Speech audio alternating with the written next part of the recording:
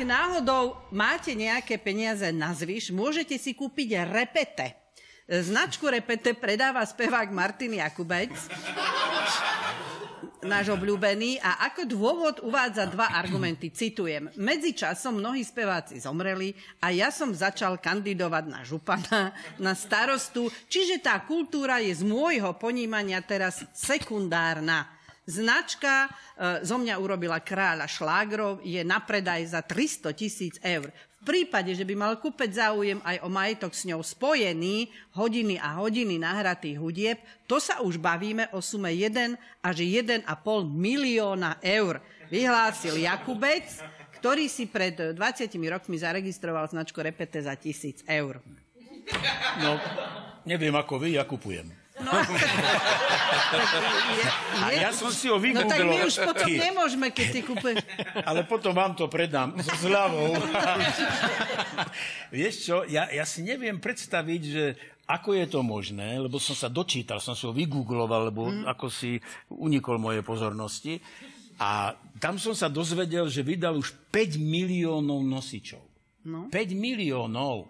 A ja som ešte nepočul jedinú pesničku, som nejaký zaostalý Čo ty počúvaš? Ja neviem, čo, čo ja počúvam. Že Milan, toto to sú len tie nosiče, vieš, to nie je ešte, ešte CD. Dobre, ja. ja.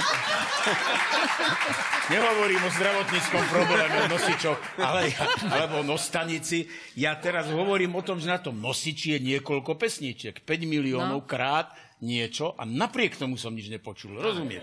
Ale čo ma zaujalo, že ak náhodou máte nejaké peniaze na zvyš, no toto keď niekto niekomu dnes povie, tak to je na facku, nie?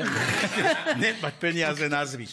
Na, čom, na čo je pánu Jakubcovi repete, keď on žije repete, lebo neustále kandiduje, kandiduje a kandiduje. Čo je voľné, čo vidí, že Hornej Borši potrebujú starostu, ja kandidujem. Potrebujú Bratislave uh, župana, ja kandidujem. A navyše je tam veľmi priaznivý trend v prvých voľbách, keď kandidoval na župana, dostal 0,7%. Teraz, teraz v posledných voľbách dostal 1,4%. Oh. Takže vážený už len 50 rokov a v roku 2073 bude konečne županom. Ale dovtedy sa samozrejme musí udržiavať vo forme. Jasne. A už ohlásil, že bude kandidovať na prezidenta. Dvaja ľudia už ohlasili. Harabina on. On, on môže súboj, spievať a Harabin môže tancovať. tancovať. Repovať. Ale keď má toľko peňazí, ten Jakubec, ako sme sa dočítali, prečo ich nevenuje pánovi Matovičovi, však on už ich vie správne pomíňať. Však by sme už po 500 eur Eňa nám dá, keď pôjdeme voliť.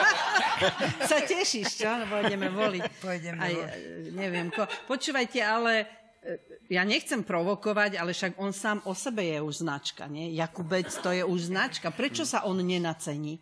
Vieš, on keby sa nacenil sám a ponúkol by sa na trh, Ježiš, to radšej... Dúfam, že nepozerá. Zajtra je na trhu. dávaš návody? Ježišmaria, čo sa to... Jakubec, ty kubec, Zajtra je na bazoši.